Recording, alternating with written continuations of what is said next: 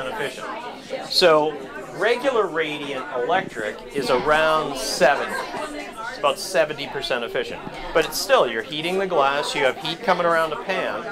This runs over 90. It's about 93% efficient because the pan is your heat source. So it's going to be faster than this, easier to clean. And the big thing is that that control. You know, so here I have my boil, I turn it down to a low simmer. Once it acknowledges that low number, it cycles down. So unlike regular radiant, I don't have to slide the pan away. And you know what's really cool is you do me a favor? Will you put this on just right on that cooktop? So you couldn't cause a fire with this even if you wanted to. So you're doing something like you're searing steaks or chops or something that splatters. I probably should have done it under the sauce before I showed that. But basically, that magnetic energy is going right through. It's a magnet, not an element. So your cleanup is a lot easier. You know, a lot. If anyone's used to a traditional radiant cooktop, you know if you spill cream or you did pasta and the starchy water overspills, that kind of bakes into the radiant top. Well, I'm not baking anything into this. The glass will get hot from the heat of the pan, but it's not hot enough to burn a towel. So it's the most efficient, easiest to clean. You have the same control as gas. And then the one thing that everyone kind of doesn't consider, because every time you get a cooktop, whether it's radiant, induction, gas, ventilation. Ventilation is to exhaust heat. Usually people's like, ah, I smell something, kick the hood on. Well, if you already smell it in the other part of the room, the grease and all that stuff is all over your ceiling and cabinets and all that. So whenever you fire up the heat, that's generally going towards your cold. So it's going towards the window, towards the door. And that takes the grease and smoke and smells with it. So my point is, whatever you're cooking on the stovetop, kick the vent hood on first because you want to exhaust that heat out of the kitchen. And now when you keep in mind this heat here, this is cranking more heat into the house. So, you know, during certain times of the year, now you're kicking on the AC. Back to efficiency. Here, I have this cranking on. I'm not sweating on top of this stovetop. So granted, I have the heat coming out of the pot, but I don't have all this heat coming around the pot. So when we have to look at what ventilation you need for induction, you can do downdrafts, you can do just slimline, you know, low CFM. You don't have to do some gargantuan 1300 CFM for the heat. So here I have a more powerful heat source, and I don't need that same ventilation. So induction's a home run. I drank the Kool-Aid years ago.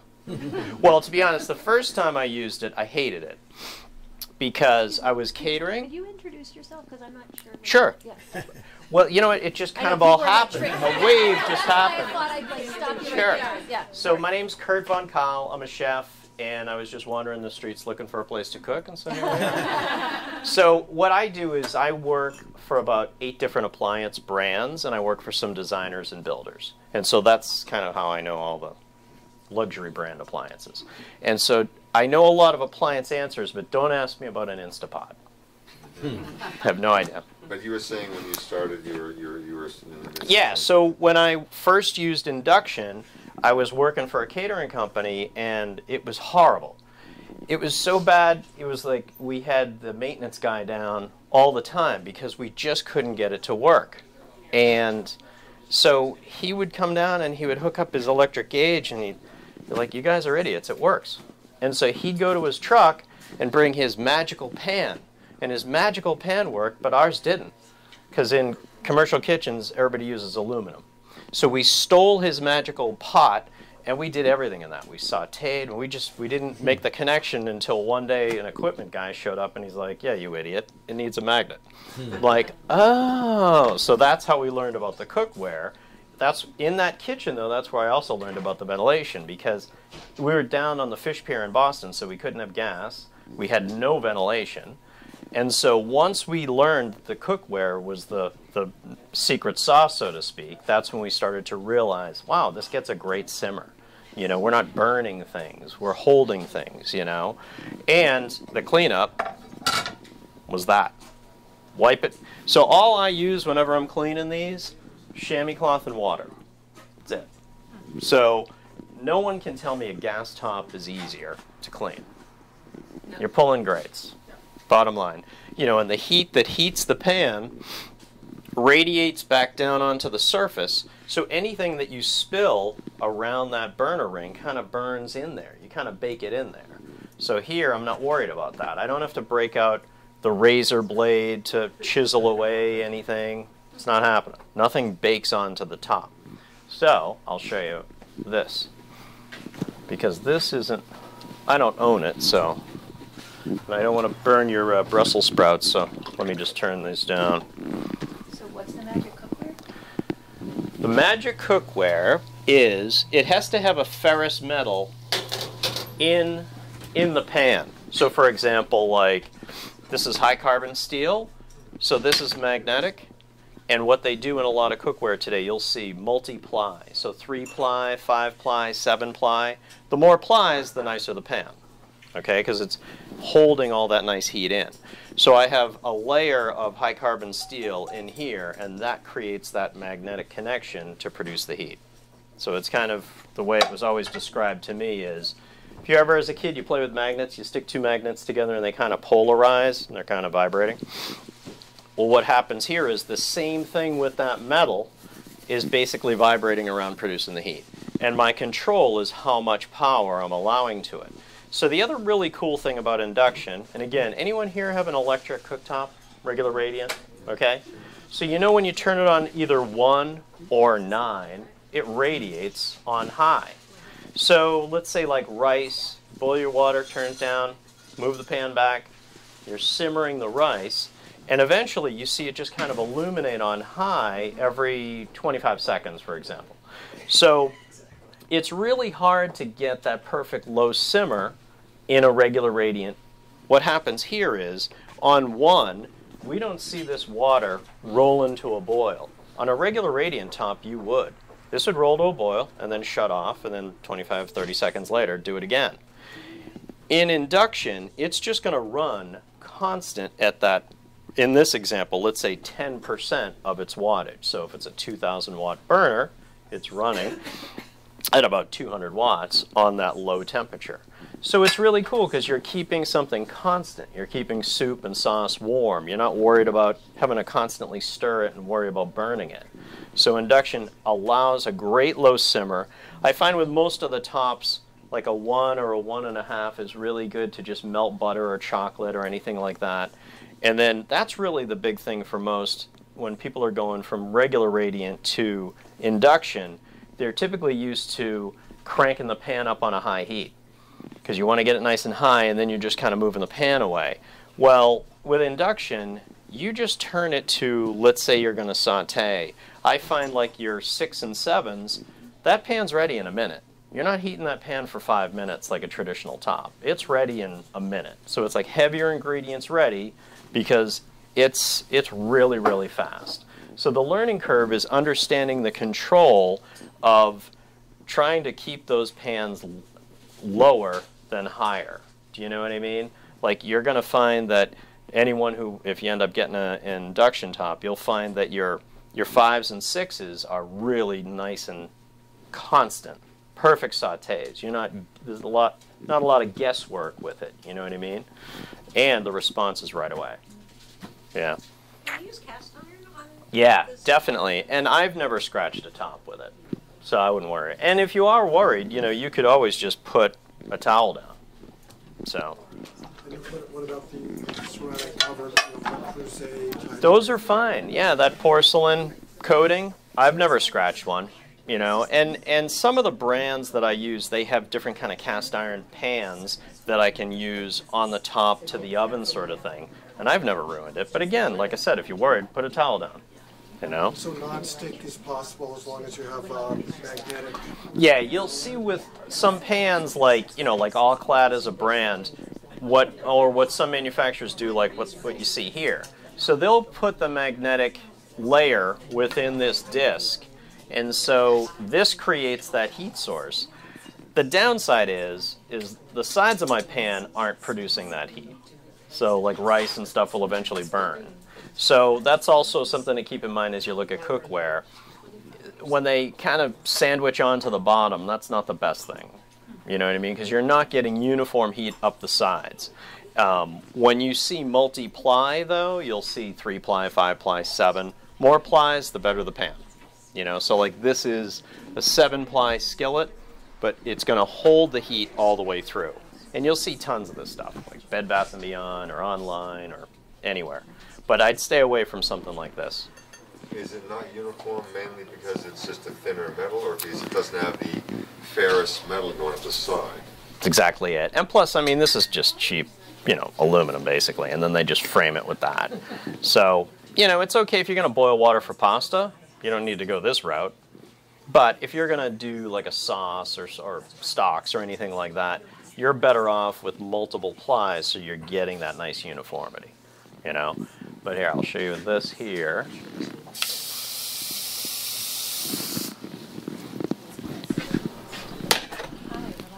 How many individual burners are there on that surface? So this one, most 36 inch cooktops have five. This particular one is pretty cool because if you notice, instead of like your traditional round burners, they do square so that I don't have to have a bridge element. And if I'm doing a griddle or if I'm doing a roasting pan and making gravy in it, I can just straddle that right across the two burners. You know what I mean? Um, and this brand, this one's Thermador, they also, there's a top over there against the wall that's pretty unique because you can slide the pans, maybe it's that one. Yeah, it's that one there. There's, if you see, there's like no fixed zones. Is it that one? I think it is. Yeah, no Yeah. Right. Yeah, so you can put the pan anywhere on the top and it finds it. But the really cool thing about it is you don't have to stay within, you know, a smaller zone parameter. So as you look at cooktops and you see those rings, you really don't want to exceed the ring by more than an inch. Because if I put a big pot like this down on a small burner, the burner's going to shut off because it's sensing this overheat that's past the ring. So you really want to match up according to the pans according to those cook surface sizes. Whereas a cooktop like that doesn't matter. I can have four or five big pans on there and not worry about it. So it's cool. Yeah, but induction's a home run. Anyone's redoing your kitchen, get rid of the gas. And here, I'll show you right here. So here, we'll crank this up, and I'll just show you. This is something that if you have a regular radiant electric at home, you're definitely not going to do this. So I was saying about the, if you had a spillover or something like that.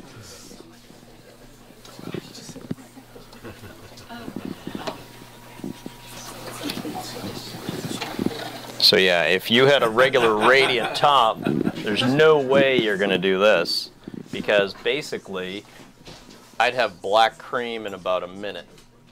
Whereas this, there's no element, remember? The pan is your heat source.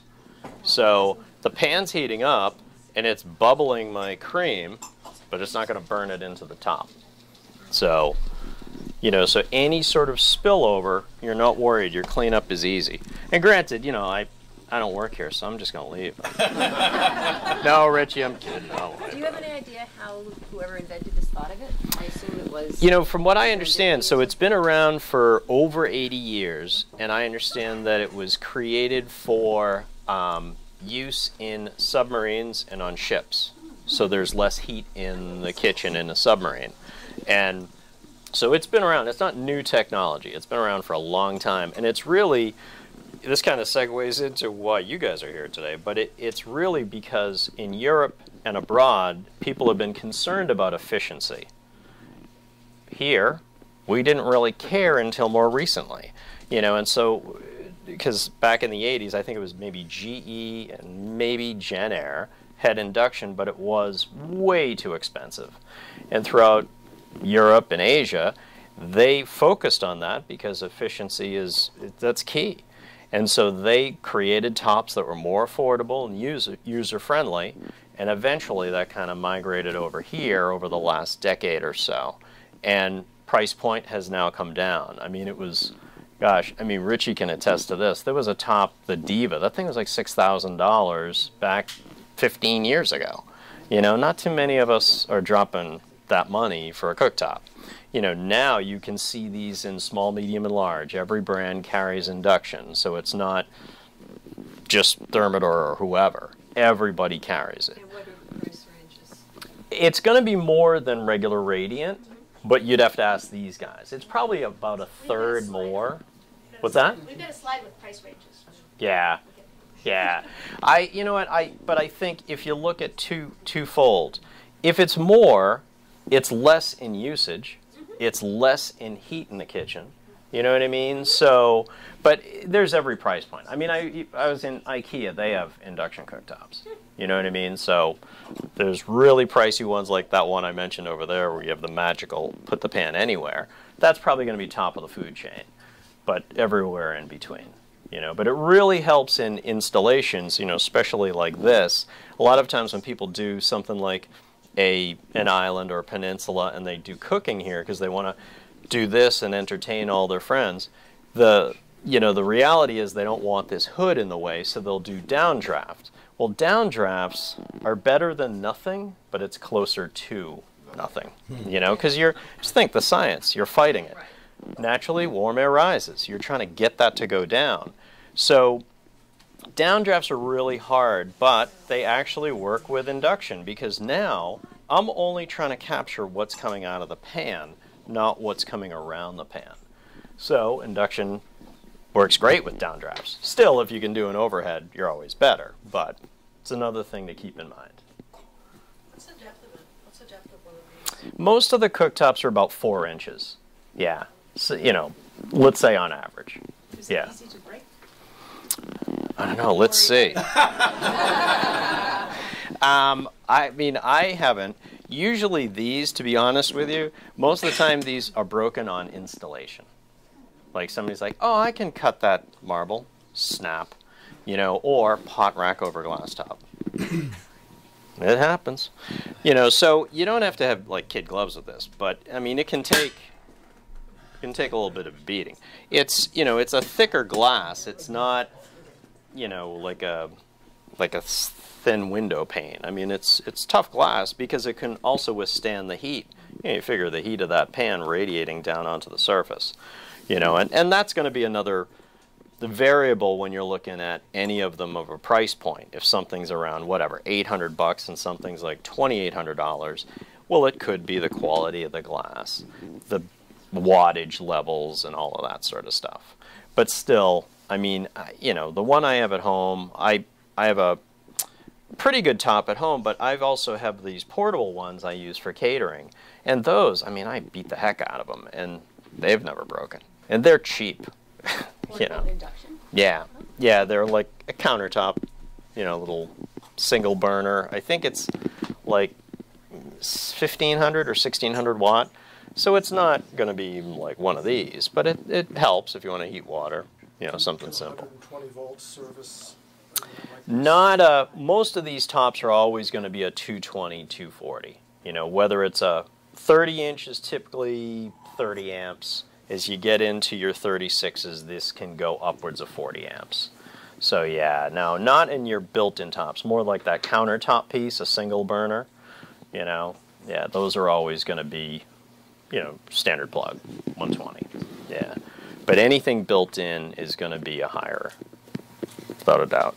Yeah, like in most commercial buildings, they're 208, but you're still looking at 30 amps. It's pretty significant. They have individual, like, built-in singular pieces, but those I want to say are 20 amp anyway. Yeah, and there's different brands that carry those. Yep. Are they only sold as stove top like that? Oh, no, they have ranges. ranges? Yeah, they have ranges like if you guys get a chance, if you go around the showroom, there's a kitchen straight back over there in the corner, and that's has the Bosch brand. And Bosch has a traditional 30 inch slide in range induction top and works great. Yeah. Yeah, same scenario. So those are really good also because when someone does a traditional 30 inch range, a lot of times they'll do the over the range microwave. So back to the ventilation thing. The over the range microwave, it's better than nothing, but it's, you know, you figure your vent's only this little thing in the back, you know, and over induction, again, we don't have tons of heat coming out or around the pan. So at least with that, it's going to work. But yeah, take a look at that. But every brand has them. GE has it, Frigidaire has it. They all carry a your traditional 30 inch range, whether it be freestanding or slide in. And then you can go more into the pro stuff like Viking. They have an induction range, but you know, it's that big stainless steel look and all that you're paying for. Yeah. All right, well, good evening, everybody, and thank you so much for coming tonight um, to join us in this incredibly smelling location. Uh, we're so happy to have all of you here. I'm Regina LaRock. I'm one of the um, new members of the leadership team of Sustainable Wellesley, and we also have here tonight the remainder of the leadership team. We have Lisa Olney over here, Scott Bender, Quentin Prideaux, Phyllis Tierman, and Mary Gard. Everybody's lined up here in the back. You can't see them at all. But um, so we're really pleased to be here at Jarvis Appliances, and we also want to extend our big thanks to Jarvis for hosting us tonight and providing this incredible space. And of course to Kurt Van Wall. Yep, thanks Jarvis. Oh, stop. Stop. And Kurt Van Call, our chef, and of course Janine Malone, our wine consultant, who's brought some amazing areas. um, I think maybe before I go too far, I just want to also point everybody to two big events that are coming up that we'd like to also invite you to. On Thursday, January January 31st at 7 at the UU Church, there will be a conversation about recycling crisis here in town, and so we invite all of you to join us for that. And on Sunday, February 10th at 5:30, Sustainable Wellesley will be hosting an evening with the candidates for our candidates for municipal elections in Wellesley, we want to invite you all to that as well. So uh, we're here tonight because at Sustainable Wellesley and also on the Natural Resources Commission in town, we're concerned about natural gas, natural gas that is leaking in our community from uh, pipes that are, a blast of heat. pipes that are, are leaking. Uh, we're concerned about climate change and how natural gas is a part of that puzzle. And I think our main reason for being here tonight is to think about how that affects the decisions that we make as individuals every day in our own lives. Things like the appliances we choose to put in our homes and the way we choose to cook our food. And it's really a big honor to have tonight with us um, Zeyneb Magavi and Audrey Schulman, who have been pioneers, I think, for the area of Boston and New England and teaching us about what's happening with our natural gas infrastructure and showing us uh, maybe a different way for the future. So Audrey Schulman is the co-founder and executive director of Home Energy Efficiency Team, HEET. Um, she also worked with the Metropolitan Area Planning Council to lead the Fix Our Pipes study that really documented the massive number of gas leaks we have in our municipalities in New England. Um, she's a wonderful friend and an author as well, and we're really pleased to have her. Um, and Zeyneb Magavi is right next to me. Zeyneb, also a friend and a real um, superstar. Uh, she has a master's in environmental sustainability and has taken the lead in providing us data so we can understand um, how we fix the leaks that we have in our communities.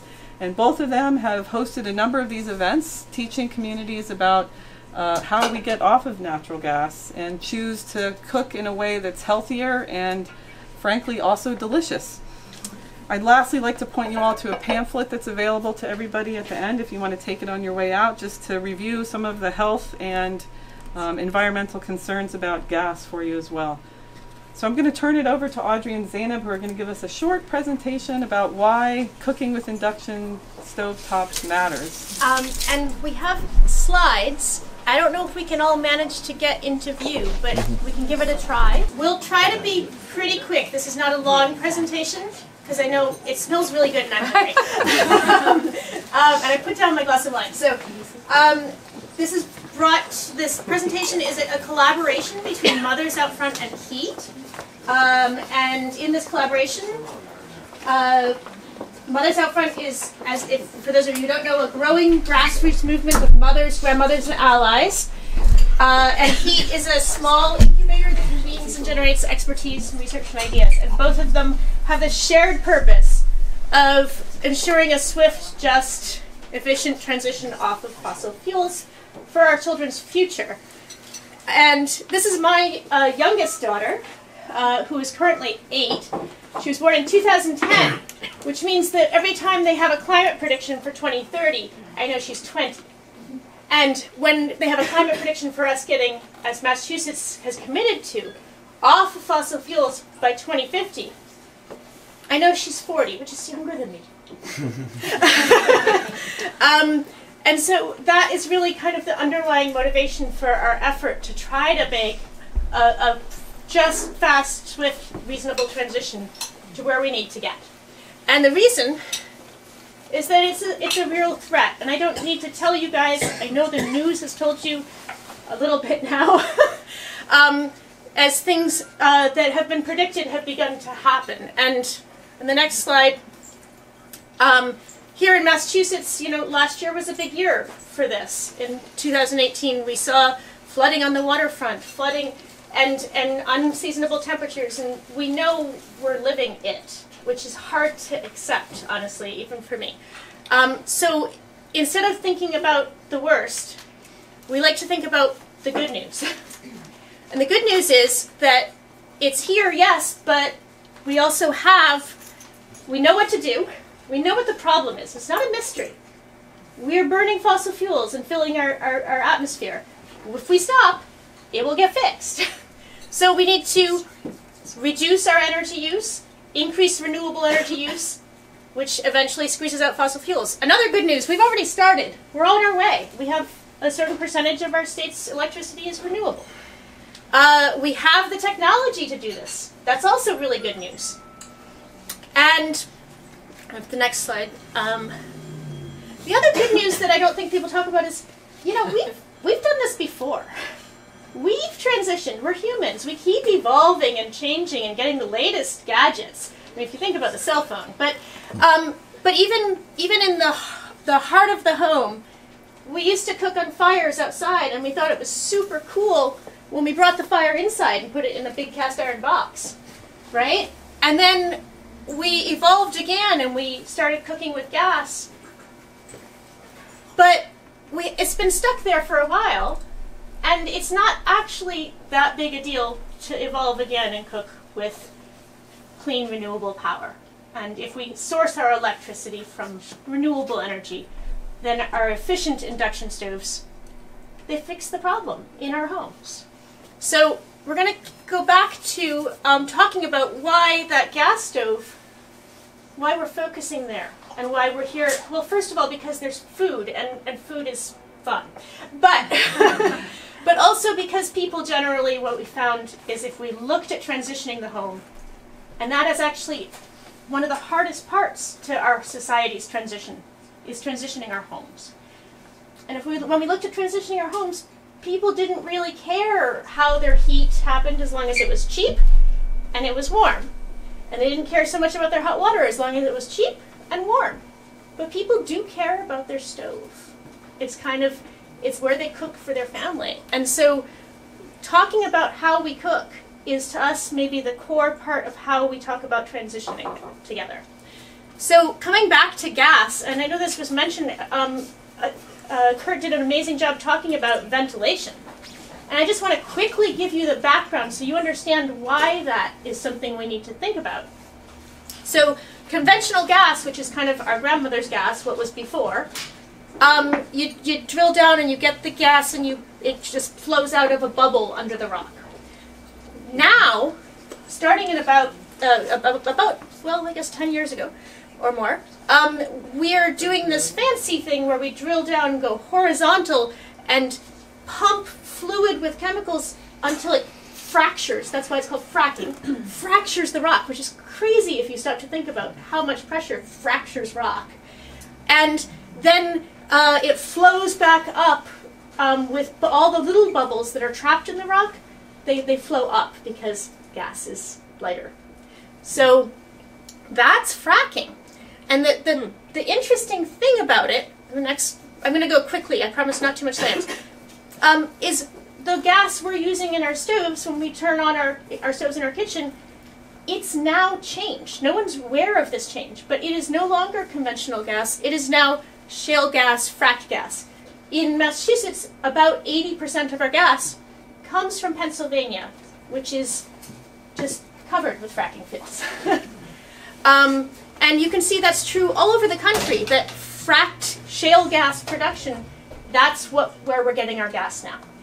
And it's a boom that is actually celebrated by many, but it's a boom that has costs. It has costs to the health of the communities that are um, enduring it, um, but also there is a question of what it, and, and part of that cost to the communities is um, the question of what is in the um, fracking fluid. And unlike every other industry that is required to report chemicals to a um, to the public, the fracking industry, thanks to Cheney's loophole, um, there's not a movie out with that. Um, they don't. They're not required to report anything that's considered proprietary. So I, I love this little cartoon. Um, it kind of gets right at it. Um, so we don't actually know. They voluntarily report about 80% of the chemicals that they use in the fracking industry. Um, they are very much reassured that they're healthy and fine and all is good. Um, but a lot of people have been asking, well, one, what's in it? Then we go next. Um, and, and two, are the things from the fracking, fracking fluid, are they coming through the pipelines to our homes in Massachusetts? And so um, some concerned allies ran a study last year um, testing the gas in the Boston area to see are there volatile organic compounds in the gas? And they confirmed that yes, there were more than 100 volatile organic compounds in the gas and are now beginning a phase two study to kind of scale up and have a more, a larger um, analysis of the gas coming into the area. Um, so when uh, Kurt said to use your ventilation, um, we would like to really encourage you. Uh, we'll, we'll, we'll keep up, you know, we'll, we'll update everyone with data as it comes out, but for now, I would say it looks like some fracking chemicals, about 20 25% of the chemicals found also were reported by fracking companies as fracking chemicals. So it looks like it's possible that some chemicals are traveling through the pipelines to our homes. Um, no proof yet. So uh, there have been, however, a lot of studies um, trying to ask questions about the connection between gas and health. And there's some studies indicating there's a connection between cooking with gas on your stove and childhood asthma incidence.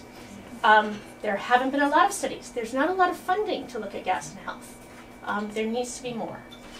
But for now, we would really like to say, please turn on your hood. And if you don't have a hood that actually vents, open your window a crack.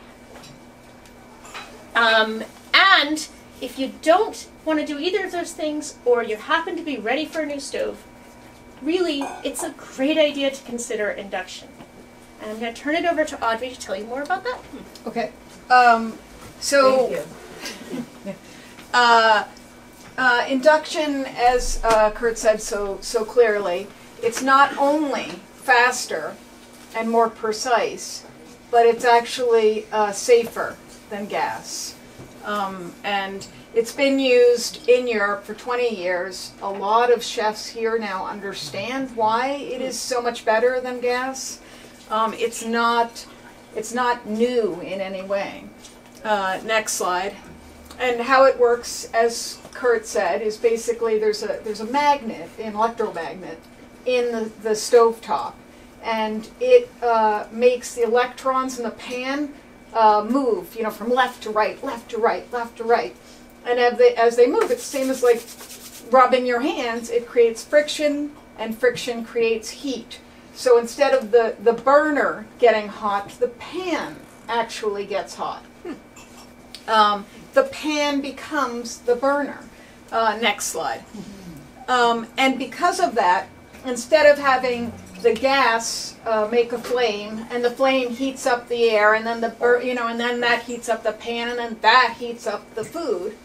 You're just much more directly heating the pan and then heating the food. So it's faster, it's more efficient, and um, in terms of like, I, I, I'll fess up. I actually have a gas stove in my house. It's an old one, and so my uh, my husband does a lot of cooking. He frequently turns it on low, and the the you know the light the flame you know sort of puts off, and about you know ten minutes later I'll be and run downstairs and like you know stop the house from exploding. So it's it's it's safer. And my mom when she visits the house.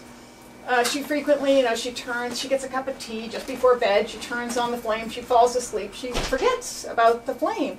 And induction would be safer in both situations. It's never going to, the flame's never going to go out and release an explosive gas into your house. Um, and it's never, go- you know, if you take the pan off, it will not get hot. And you, you should all try that out on this. You know, if the pan's not there, it's just a magnet, right? There's nothing to heat. So in both cases, it would be safer.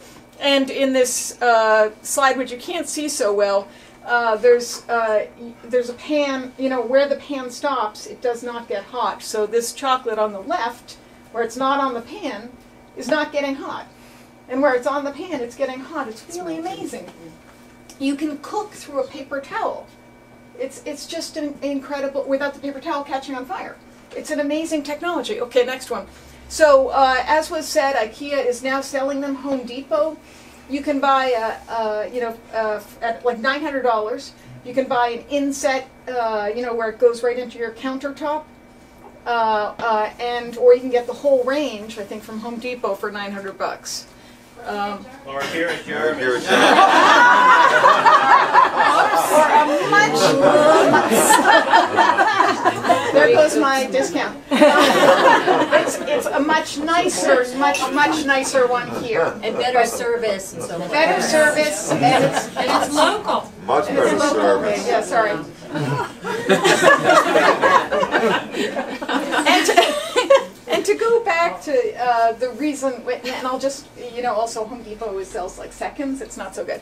Um, the reason, the reason Good why save. is because like people care about their gas stoves and they don't care about you know their gas heat. You know, most people don't even know how their hot water is heated, right?